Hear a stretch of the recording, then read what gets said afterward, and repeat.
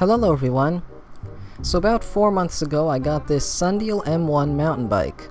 It costs $200 and it has a lot of pretty good features for the price.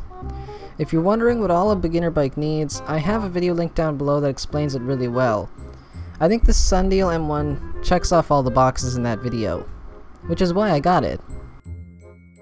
So how has the bike held up to my use in 4 months? Well, a few things happened, none of which I think are bad.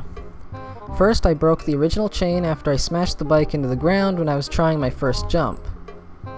All that happened was the chain fell off the front chainring, but when I tried to get it out of this little hole here, the bike wound up ripping, a ripping apart my chain because it was so stuck.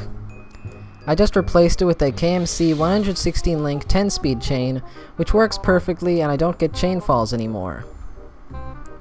The Shimano Tourney derailleur also broke after that incident because right after that, the chain also pulled the derailleur into my spokes, and since I was still riding at that point, the derailleur got bent up. That derailleur was not meant for mountain biking though anyway, so that's not too bad.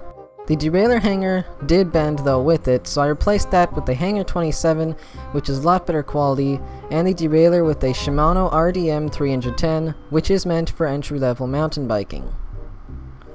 Since then I've just done a few wheelies, practiced doing jumps, and kept on learning everything a beginner would be learning. And nothing has gone bad with the bike. I just had to do some chain lubing and modifications.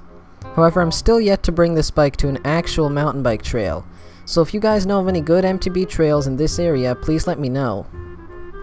As for the mods I did, I added this chainstay protector, these crank boot protectors, and this really really well made cheap phone mount, which hasn't dropped my S7 Active no matter how much force I put into a drop. That is, a drop from a wheelie. I plan on modding this bike a lot more and I'll definitely come out with a new video once I get those things in. For now, I still stay where I was before, that I think this is an awesome bike for a beginner and the $200 price.